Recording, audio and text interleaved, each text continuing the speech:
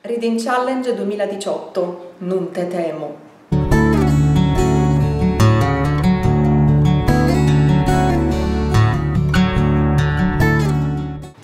Coltivatori di sogni e benvenuti o bentornati sul canale. Oggi finalmente sveliamo uno per uno tutti i punti della nuova Reading Challenge di Pop Sugar per il 2018. A darmene notizia con super puntualità è stata Valentina, a cui mando un bacione, grazie cara per avermi informata subitissimo perché eh, quando lei ha visto che sul sito di Pop Sugar era eh, appunto stata pubblicata la Reading Challenge 2018 mi ha informata subitissimo. Io probabilmente avrei visto il sito tipo dopo l'8 dicembre. Quindi sul mio quadernino di YouTube ho eh, segnato tutti i punti eh, traducendoli in italiano. Anche la presentazione della challenge che hanno fatto è molto carina perché spiegano che lo scopo è comunque quello di leggere di più, divertirsi e magari scoprire qualche genere a cui non avremmo mai pensato di avvicinarci. Ci sono anche un paio di punti ostici segnalati proprio dal sito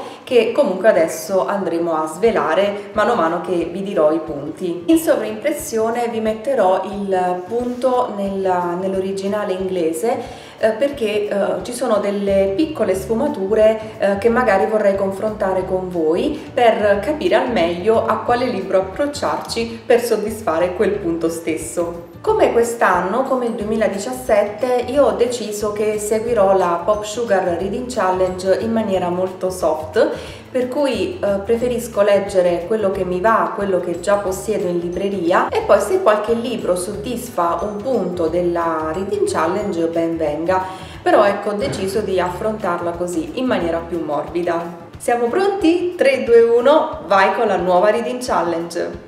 Punto numero 1. Un libro trasposto, adattato in un film che hai già visto.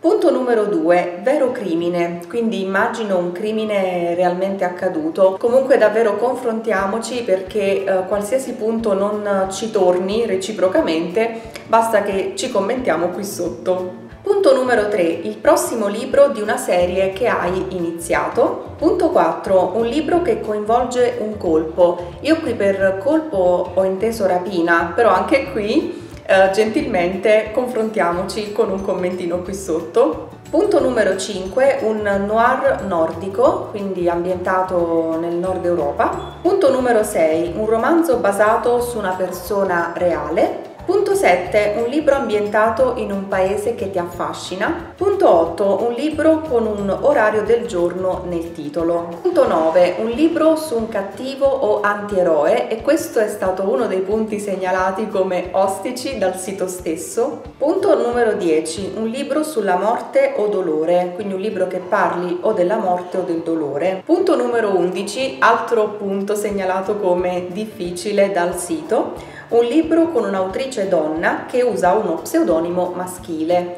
Non so voi, ma io ho pensato subito alla Rowling. Punto numero 12, un libro con un protagonista LGBTQ. Punto numero 13, un libro che è anche uno spettacolo teatrale o musicale. Punto numero 14, un libro di un autore di un'etnia diversa da te e mm, questo è lo stesso punto praticamente della mm, challenge del 2017 punto che io ho colmato con il profeta di Gibran. Punto numero 15 un libro sul femminismo. E qui bisogna stare attenti perché ci sono dei libri pseudo femministi in giro. Punto numero 16 un libro sulla salute mentale. Punto 17 un libro che hai preso in prestito o che ti è stato regalato. Punto numero 18, un libro di due autori, quindi scritto a quattro mani. Punto numero 19, un libro sullo sport o che coinvolge uno sport, quindi o che parli proprio dello sport o al cui interno ci sia uno sport. Punto numero 20, un libro di un autore locale. Punto 21, un libro con il tuo colore preferito nel titolo. Punto 22, un libro con una allitterazione nel titolo, trattansi di una figura retorica e ci sarà veramente da pensare a proposito di questo punto perché Per il momento non mi sono venuti in mente titoli del genere.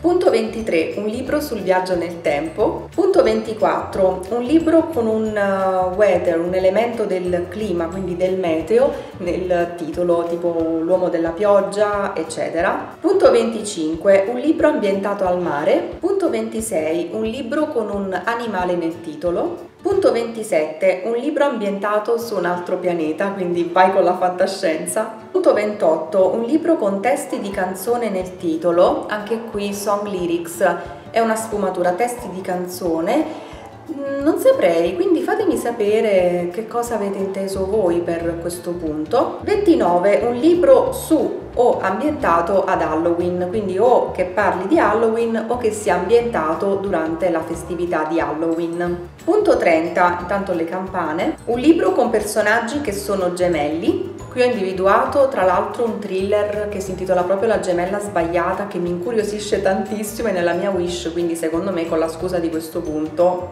Punto 31. Un libro menzionato in un altro libro. 32. Un libro da un club del libro delle celebrità. Anche qui non sono sicura, quindi gentilmente fatemi sapere club del libro delle celebrità, dove posso reperirlo e che cosa si intenda. Punto 33, continuano le campane, ma che ore sono? Ma manco fosse mezzogiorno. Un classico dell'infanzia che non hai mai letto. Punto 34, un libro che è stato pubblicato nel 2018. 35, uno scorso vincitore dei Goodreads Choice Awards. 36, un libro ambientato nel decennio in cui sei nato, molto carino questo punto, quindi comunque un libro ambientato negli anni per esempio esempio 80, 90 e così via. 37. Un libro che intendevi leggere nel 2017 ma che poi non hai più letto. 38. Un libro con una copertina brutta, molto simpatico questo punto, quindi un libro con una copertina che giudichiamo brutta. 39. Un libro che coinvolge una libreria o una biblioteca.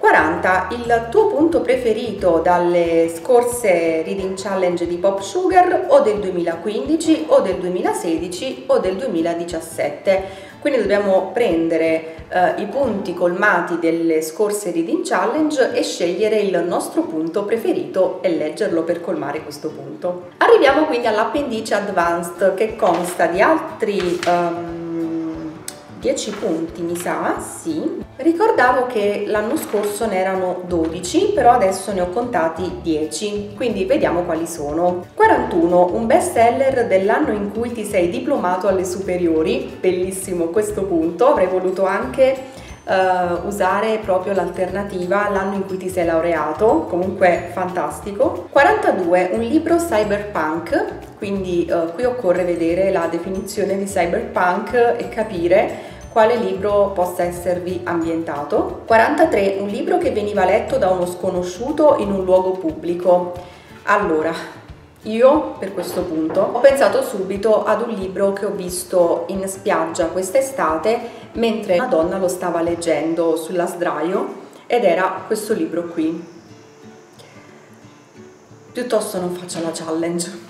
Punto 44. Un libro legato ai tuoi antenati, quindi immagino tipo un libro che ci ricordi i nonni, che hanno letto i nonni o che avevano i nostri nonni nella libreria. Punto 45. Un libro con un frutto o un vegetale nel titolo, tipo pomodori verdi fritti. Punto 46. Un'allegoria Bene. Punto 47. Un libro di un autore con il tuo stesso nome o cognome. Punto 48. Una microstoria, che è un sottogenere della storiografia. Punto 49. Un libro su un problema che deve affrontare la società oggi. E infine, ultimo punto 50, un libro consigliato da qualcun altro interessato alla Pop Sugar Reading Challenge. E questi erano i 50 punti della sfida di lettura per il nuovo anno. Fatemi sapere se parteciperete, se avete già in mente qualche titolo, eh, se eh, affronterete in maniera più soft questa sfida di lettura oppure se al contrario vi baserete solo su questi punti per le vostre scelte di lettura. Fatemi sapere tutto io vi mando un bacione, vi ricordo di iscrivervi al canale se non l'avete ancora fatto, di attivare la campanella e di seguirmi anche sui social anche per eventuali aggiornamenti sulla Reading Challenge stessa.